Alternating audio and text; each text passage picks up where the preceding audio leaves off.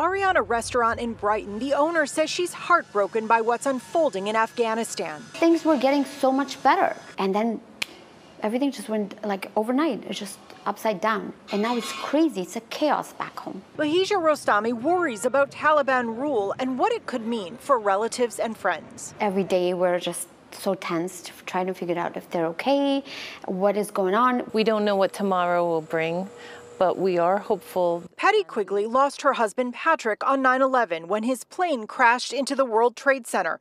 Now she's interim executive director of Razia's Ray of Hope Foundation, a group that raises money to educate girls in Afghanistan. We are willing to work with whatever government is in place right now. They've built schools and educated hundreds of girls, work she hopes to continue. If we educate the girls halfway across the world, their effect will have a positive effect. Rostami wishes the U.S. had stayed longer in Afghanistan. I think if the U.S.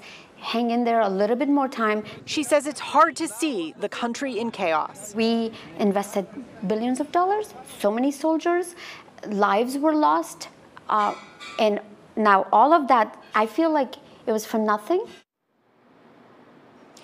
Rostami says she is glued to the TV for updates. She is concerned about schools being allowed to remain open and still being able to keep in touch with friends on social media.